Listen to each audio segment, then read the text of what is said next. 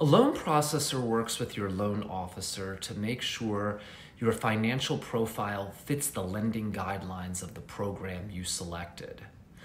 They collect pay stubs, W 2s, and bank statements in order to submit an application to underwriting.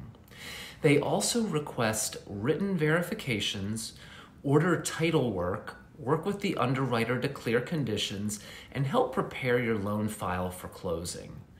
In addition, they are responsible for working with the title or escrow company to collect information about the property.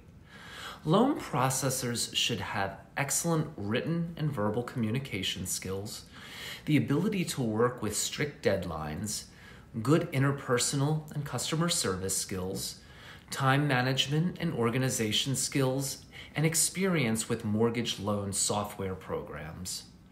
I'm Stewart Brown, a licensed mortgage loan originator in Palm Springs, California, here to simplify topics in real estate and mortgage lending.